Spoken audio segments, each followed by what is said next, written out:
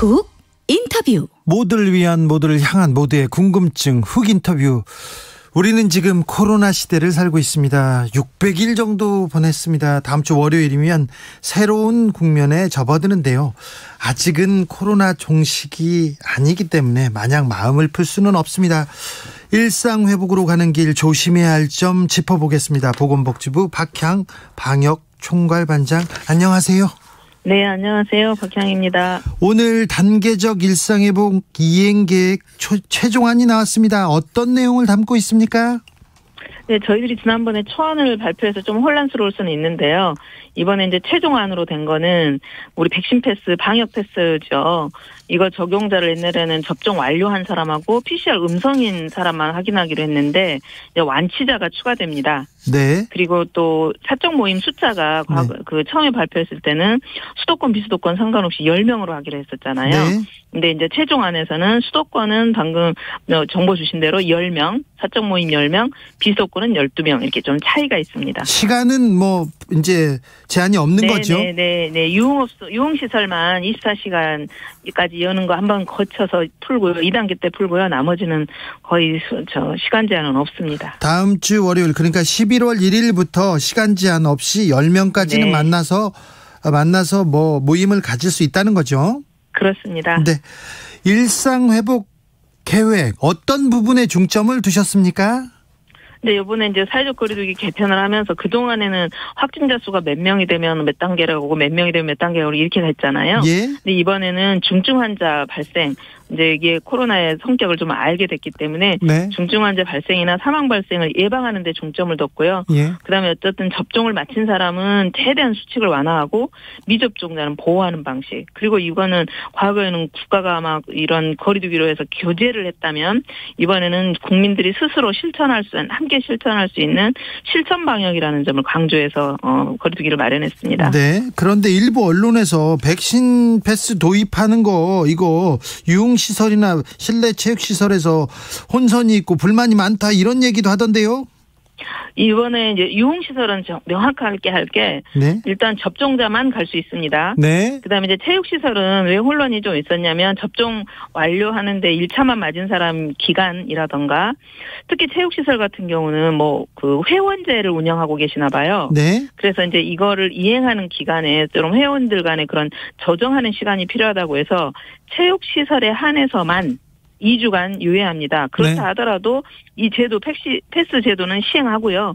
다만 2주 기간 동안에 처벌만 어, 면제하고 2주 후부터는 바로 처벌에 들어갑니다. 알겠습니다. 3803님이 아, 확진자 2,000명대 무슨 위드 코리나 코로나입니까? 이해하기 힘드네요. 얘기하는데 음 2,000명대 확진자여서 좀 일상 회복 앞두고 우려하는 분들 많습니다. 네, 그렇죠. 방금 제가 말씀드린 것처럼 그 전에는 확진자가 중요했는데 코로나가 이제 보니까 무증상 경증이 많았고요. 네. 그다음에 예방 접종을 맞게 되면은 중증으로 가는 숫자도 훨씬 줄어들고 또 우리가 의료를 대응할 수 있다면 우리 국민들에게도 이제 일상이 회복돼야 된다라는 측면에서 시작했고요. 네. 이제 숫자도 보겠지만 이제 이후에 확진자가 얼마나 중증으로 이행하느냐 또 우리가 거기에 따르는 의료 대응을 할 수 있느냐 이런 부분을 감안하면서 서- 하- 한 걸음 한 걸음씩 일상 회복으로 들어가려고 합니다. 그래서 숫자에만 너무 의존하지는 않을 겁니다.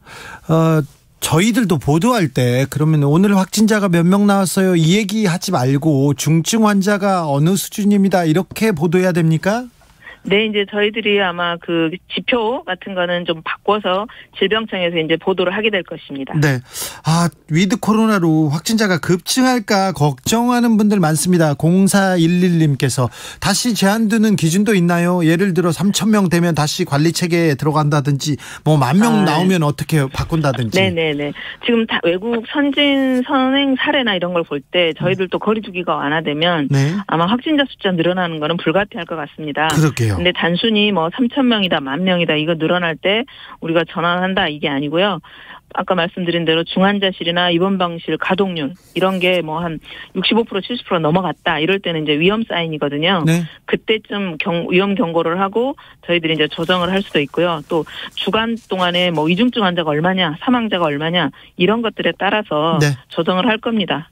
반장님. 근데 이제 네네 반장님 혹시요. 아, 네. 어느 정도 나올 수 있어 위드 코로나로 갔을 때 확진자가 늘어서 얼마까지 나올 수 있어 이렇게 좀 생각하고 있는 염두에 둔 숫자가 있습니까? 지금 전문가들 사이에서는 최소한 이 속도 가면서 한 3천 명 될 수도 있고 5천 명 정도까지 늘 수 있을 거다. 네. 근데 또 이런 어떤 모델에 따라서는 만 명까지도 예측하시는 분이 계십니다. 네. 그렇죠. 네. 아, 그렇게까지 막아야 될 텐데요. 음, 그렇게 가지 않도록 저희들이 다 함께 방역 수칙을 잘. 지켜야 될 것 같습니다.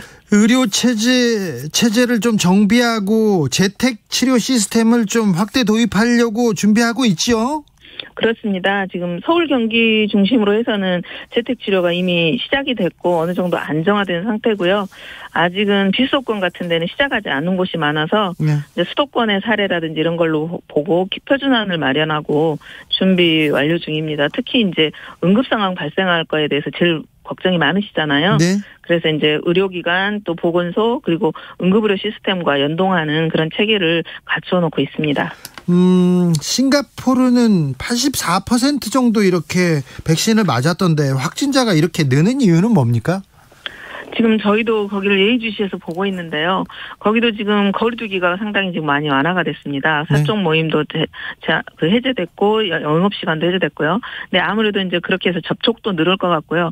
또 아울러서 하나는 이제 돌파 감염 숫자가 좀 늘고 있는 것이 주요 요인으로 작용하지 않나 보고 있습니다. 네.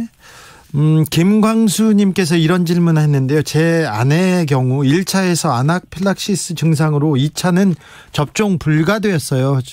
그런데 2차를 못 맞아서 불이익 받는 건 아닌가요? 물어봅니다. 방금 그런 사례 같은 경우는 이제 접종을 불가피하게 못 맞는 사례가 되겠죠. 예. 그래서 저희들이 패스 적용할 때는 예외로 적용하는 데 해당될 수 있을 것 같습니다. 그래서 네. 그런 뭐 아나필락시스가 있었다 이런 명확한 경우에는 예외 규정도 있습니다. 네.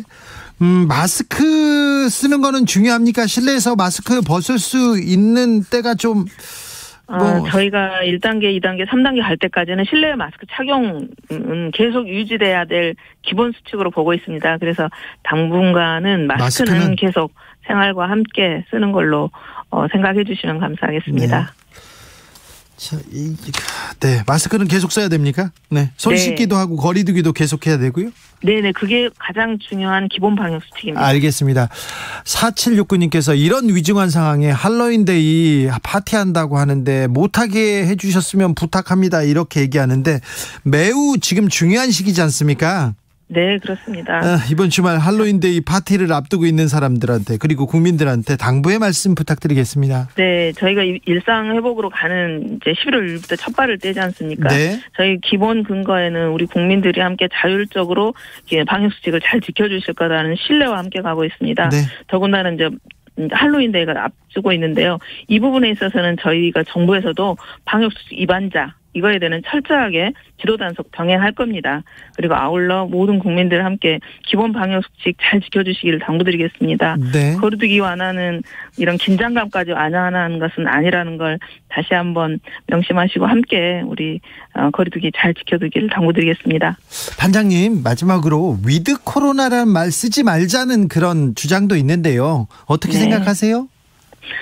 아, 그 일상 우리의 그더 나은 일상을 위해 함께 가자. 뭐 이렇게 생각할까요? 바이러스 뭐 이렇게 뭐 종식이라는 그런 개념 아니고 네. 더 나은 일상을 위해 우리 스스로 자율 방역 잘 지키면서 네. 수칙 잘 지키면서 함께 살아갑시다. 2584 이렇게 말씀드리고 알겠습니다. 싶습니다. 감사합니다. 2584님은 여기 한강 마리나로 요트장인데요. 무슨 파티를 하는지 공연을 하는지 음악 소리가 날리고 들리고 난리가 아닙니다. 얘기합니다. 오, 좀 각별하게 며칠만큼만 좀 더 조심해 주셨으면 합니다.